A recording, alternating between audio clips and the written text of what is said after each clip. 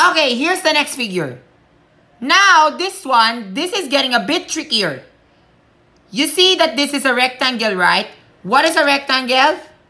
Pairs of sides are, are equal. So, this is 8 cm. Kung sa tingin mo dito sa ruler mo, this is 8 cm. Therefore, on the other side naman, it should also measure 8 cm din. Okay? Tapos, the width is 9 cm. Okay? So, 9 cm ito, di ba? Tingol ko dito.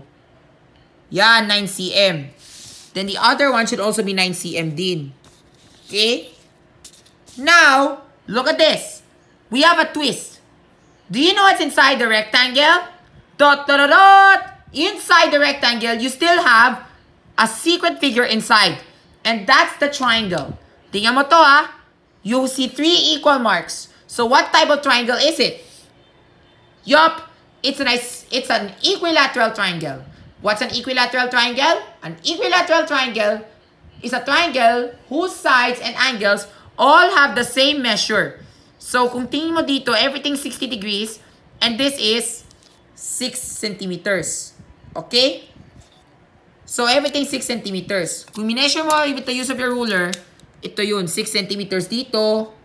Tapos, kung dito naman, 6 centimeters din. Tapos, kung dito naman, edi 6 centimeters din. Okay? Now, to solve for the area, Oh, by the way, what we're trying to solve for this matter is the entire rectangle itself such that it does not include the area of the triangle. Parang just like solve for the area of the shaded region. When you get to normal schools, ganito yung lalaruin mo. Okay? First of all, it's up to you which shape you want to solve for its area first. But I prefer, let's start off with the rectangle. You might be asking me why rectangle muna kahit na malaki. But either way it works. It depends upon which shape you want to work on first. And then at the latter part, you'll see what's the next step. Okay? First of all, sa rectangle muna tayo. So, you know, for the area of the rectangle, it's as easy as ABC. Furthermore, it's a walk in the park. Length times width. We know that the length is 8 centimeters, diba? And the width is 9 centimeters. So, 8 times 9. So, therefore, ang area ng rectangle ay 72 square centimeters. Okay?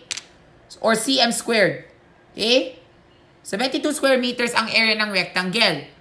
At hindi ba yan natatapos? Dahil meron tayong triangle as si Tatsulok. So when we have a triangle here, we need to solve for the area of the triangle. Ano, gusto mo kukunin mo yung area ng rectangle such that what you goal is it even includes the triangle?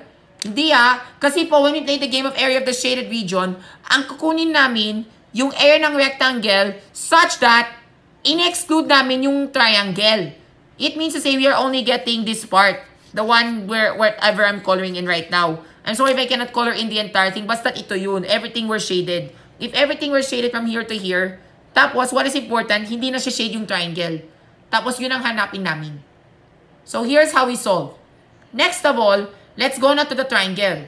Uh-oh! For the sake of a triangle, look!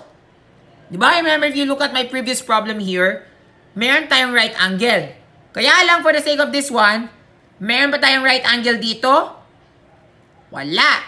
Because since it's an equilateral triangle, therefore, every angle should measure 60 degrees. So typically, we don't have a right angle unless, ayun pala, di ba remember, we need to have a height. Because the formula of zone for the area of a triangle is always base times height.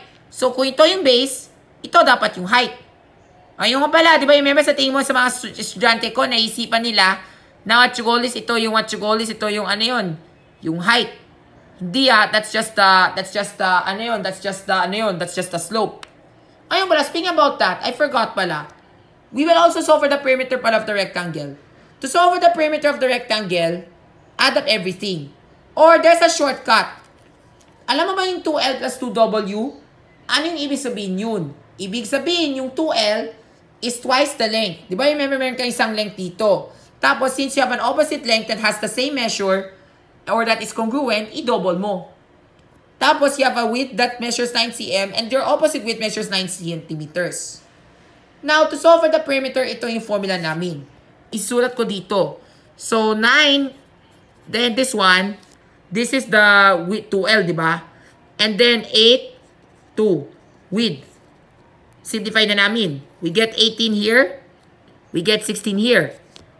Add everything up, 34 cm. Don't forget to include your units, okay? So our area, so the perimeter of the rectangle is 34 cm. Ang area namin ay 72, 72 cm.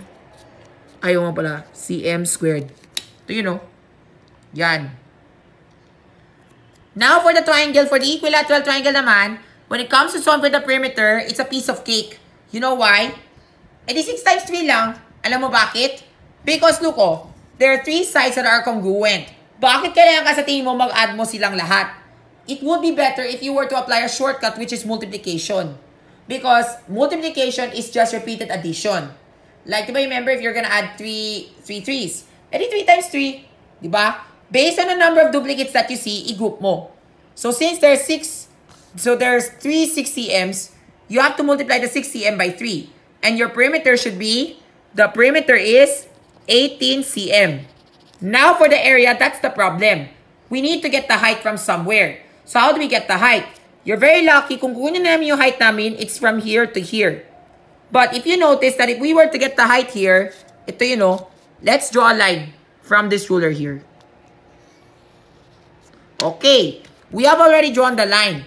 And you notice that these two triangles are congruent. But however, we do not know what the measure of the height is. However, there's a catch. Be right back, folks.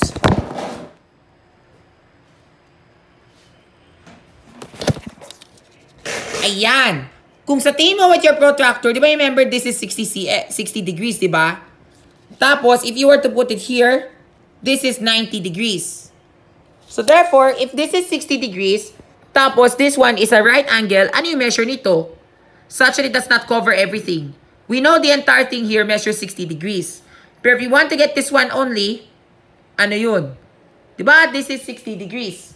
So, 60, and then what you call this, ah, gets ko na, kasi po since it's congruent, edi 60 divided by 2. So, tama, this is 30.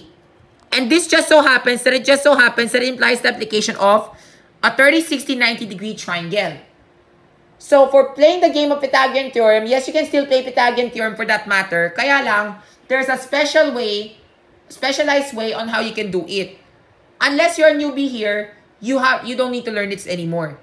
Pero yun. Okay? So ito yun. Now, we know that this is 6 cm. So 6 cm is this one, 6 cm is this one, and 6 cm is this one. Kaya lang, since we part the triangle into half, so we're working on this triangle. So what should be the measure of our base? Our base is 3 centimeters na lang. Okay? So 3 centimeters ang measure ng base. And then we do not know what the height is. And then we have this, this what you call this, ano yun, the slope, which we call the hypotenuse. Di ba remember sa hypotenuse ng right triangle? The slope is what you call the hypotenuse. And that is 6. Alright? Now, when we play the Pythagorean theorem that is right here, ito yung formula. Ang base ay 3 squared, di ba? This is the base. And then we do not know what the height is, so that's b squared. And then c squared, oops. And then c squared is, ano yun? 6 squared. Tama? Now, we simplify the exponents. Making this 9, b squared, just leave it like b squared itself. Tapos 6 squared, edi 36. Now, we isolate the terms, just like what you do in algebra. Alright? Now, we're stuck at b squared is equivalent to 27. Ito na yan. To, to get rid of the square root, we need, we, to get rid of the square in the b, we need to take the square root of that number, which is is 27. Okay? Ayaw bala, do you notice that 27 can't be taken out by a square root? However, you can also play the game called simplifying radical expressions. Such that if this is 20, the square root of 27 can be simplified to applying prime factorization, you get something like this. Ito yun, di ba? 3 times square root of 9. 3 times 9 is 27. Then the square root of, then the, then the number 9 can be taken out by a square root. So therefore, ganito na lang ko, ganito na lang lamang. It's just 3 times the square root of 3. So, yun na yung height namin. So, our height will just become 3 times the square root of 3. So, if we go back to this formula, ito na yung height namin. 3 times square root of 3. So, do you notice it kind of makes sense? That's the, that's the triangle configuration of 30, 60, 90 degree triangles.